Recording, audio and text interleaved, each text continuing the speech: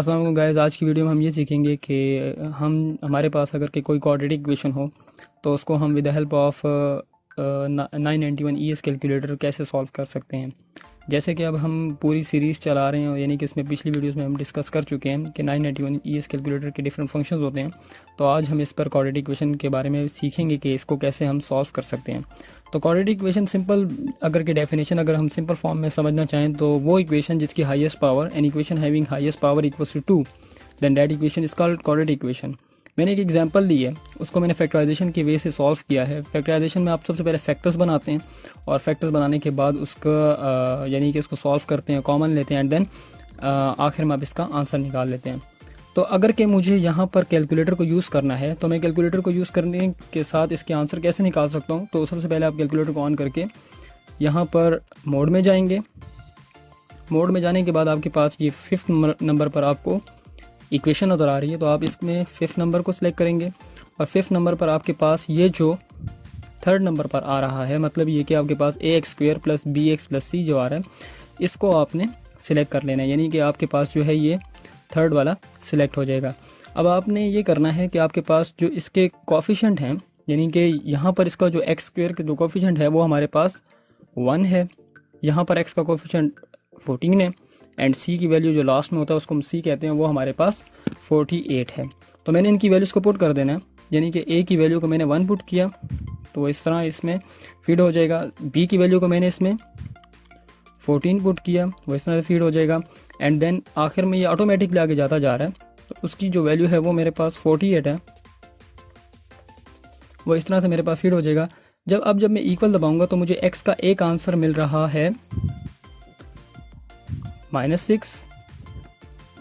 और दूसरा आंसर मुझे मिल रहा है माइनस एट। मतलब ये कि अगर मैं इस एक्स को, इस माइनस सिक्स को उधर लेके जाऊँ तो ये मेरे पास हो जाएगा plus six equal to zero एक फैक्टर और जो दूसरा है, यानी कि इसको मैं उधर लेके जाऊँ तो ये मेरे पास हो जाएगा x plus eight equals to zero. मतलब ये कि आपके पास ये दो फैक्टर्स आ जाएँगे इसी तरह से जो कि हमने बाय कन्वेंशनल मेथड हमने फाइंड आउट किया। तो कैलकुलेटर आपको ये एक स्टेप में इसका आंसर दे देता है। अब इसके बाद हम ऐसा करते हैं कि सेकेंड इक्वेशन को ट्राई सेकेंड एग्ज़ाम्पल है। इसमें हम फ़र्स्ट वाली इक्वेशन को क्लियर कर लेते हैं। सेकेंड एग्ज़ाम्पल में हमारे पास जो है x square minus four x minus twenty one है। उसको भी बाय कन्वेंशनल मेथड फैक्टराइजेशन से मैंने इसको सॉल्व किया है यानी कि फैक्टर्स बना दिए प्रोडक्ट करेंगे तो आपके पास जो है ये माइनस ट्वेंटी वन आना चाहिए सम के लिए माइनस फोर आना चाहिए। एंड देन उसके बाद अगर आप इसको सॉल्व करते हैं तो आपके पास इसका आंसर जो है ये आ, मतलब कि सॉल्व करने के बाद आपके पास इसका आंसर इस तरह से दो फैक्टर में आना चाहिए। अब होता ये है कि जब आपने इसको सॉल्व करना होता है तो सबसे पहले आपने ये करना होता है कि इसके लिए आपने वही तरीका है आपके पास मोड में जाएँगे फिफ्थ नंबर में आप इसकी इक्वेशन को सेलेक्ट करेंगे और ये आपके पास जो थर्ड आ रहा है मतलब कि आपके पास एक स्क्वेयर जो है, इसको आपने थर्ड को सिलेक्ट कर लेना है। वही वही कोफिशेंट आपने, वही कहानी है। मतलब कि आपके पास एक्स स्क्र का कोफिशेंट वन आ रहा है, यहाँ पे एक्स का कोफिशेंट माइनस फोर आ रहा है और इसके बाद जो सी का कोफिशेंट है वो माइनस ट्वेंटी वन है। तो आप इस तरह इसको पुट करते जाएँगे। उसके बाद आपके पास जो कोफिशेंट है वो माइनस फोर है, ठीक है? और जो लास्ट वाला कोफिशेंट है वो आपके पास माइनस ट्वेंटी वन है। तो आपके पास इक्वल दबाएँगे तो एक्स वन का आंसर जो है वो आपके पास सेवन आ रहा है और एक्स टू का आंसर आपके माइनस थ्री आ रहा है। तो अगर आप इसको यूँ लिखें तो एक्स वन का आंसर जो था हमारे पास वो सेवन था और एक्स टू का आंसर जो था वो हमारे पास था माइनस थ्री मतलब ये कि आप इसको अरेंज करेंगे तो आपके पास यही चीज़ बन जाएगी, यानी कि यही आंसर बन जाएँगे जो कि आपके पास ऊपर वाले फैक्टर आ रहे हैं।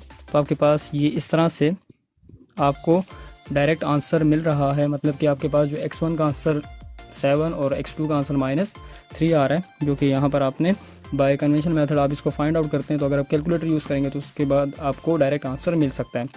अब इसके लिए मज़ीद एग्ज़ाम्पल सॉल्व करने के लिए आपके पास थर्ड और फोर्थ भी एक क्वेश्चन मैंने एज एन एग्ज़ाम्पल लिया हुआ है तो आप इसमें वही फिफ्थ में जाकर आपके पास जो थर्ड वाला क्वेश्चन है, इसमें आपने मतलब कि फ़र्स्ट जो एक्सपेयर कोफिशन वन है सेकेंड कोफिशन आपके पास माइनस ट्वेंटी वन है, और सी की वैल्यू जो है हमारे पास वन ज़ीरो एट है। तो आपके पास जो एक्स वन का आंसर आ रहा है वो ट्वेल्व आ रहा है, और एक्स टू का आंसर है वो हमारे पास नाइन तो इसका आंसर जिस वक्त हम लिखेंगे फैक्टर अगर कि हमें कहा जाए कि फैक्टर बनाएँ तो हमारे पास इसका आंसर आएगा माइनस ट्वेल्व और दूसरे जो सेकंड पार्ट होगा, उसका आंसर होगा हमारे पास।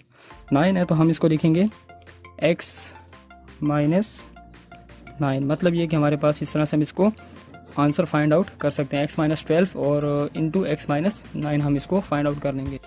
अब अगर कि हमने लास्ट क्वेश्चन को सॉल्व करना है तो इसमें इसका कोफिशेंट फोर है और इसका कोफिशेंट एक्स का कोफिशेंट हमारे पास ट्वेल्व है और ये सी की वैल्यू हमारे पास फाइव है। सिमिलरली आपने वही तरीका है मतलब कि इक्वेशन में जाकर थर्ड वाली सिलेक्ट करनी है और उसमें जो आपके पास जो ए की वैल्यू है, वो आपके पास फोर आ रही है। सेकेंड की वैल्यू आपके पास ट्वेल्व आ रही है और थर्ड की वैल्यू आपके पास फाइव आ रही है। इक्वल दबाएँगे तो आपके पास एक answer minus one by two और दूसरा आंसर हमारे पास माइनस फाइव बाई टू आ जाएगा। तो आपके पास अगर कि मैं एक्स वन की वैल्यू लिखता हूँ तो वो मेरे पास इस तरह से आएगी। मतलब ये कि माइनस वन बाई टू है। तो अगर इसको फैक्टर में बनाया जाए तो वो इस तरह से हो जाएगा कि आपके पास अगर के मैं टू को उधर मल्टीप्लाई करूँ तो मेरे पास two x is equal to minus one and then इसको मैं माइनस वन को उधर लेके जाऊँगा तो मेरे पास ये हो जाएगा two x plus one is equals to zero मतलब कि एक फैक्टर आपके पास और जो दूसरा फैक्टर आपके पास वो माइनस फाइव बाई टू है। तो आप इसको लिखेंगे कि x is equals to minus five by two और उसके बाद आप टू को मल्टीप्लाई करेंगे two x is equals to minus five and then similarly आपके पास जो है टू एक्स जब फाइव उधर जाएगा तो ये प्लस के साथ आपके पास दूसरा फैक्टर आपके पास टू एक्स प्लस फाइव और ये पहला फैक्टर आपके पास टू एक्स प्लस वन हो जाएगा। मतलब आपके पास जो आंसर होगा वो इस तरह से आएगा। तो एक सिंपल वे है जिसमें आप क्वाड्रेटिक इक्वेशन को सॉल्व कर सकते हैं और आपके पास इसका आंसर डायरेक्ट मिल जाता है। उम्मीद करता हूँ आपको वीडियो पसंद आई होगी। अगर कि कोई स्टेप समझ नहीं आया तो आप कमेंट में पूछ सकते हैं। तो मिलते हैं अगली वीडियो में। इस वीडियो को शेयर कीजिए लाइक कीजिए और दूसरों तक पहुँचाएँ कि सबका भला हो सके। तो मिलते हैं अगली वीडियो में। तब तक के लिए अल्लाह हाफिज़।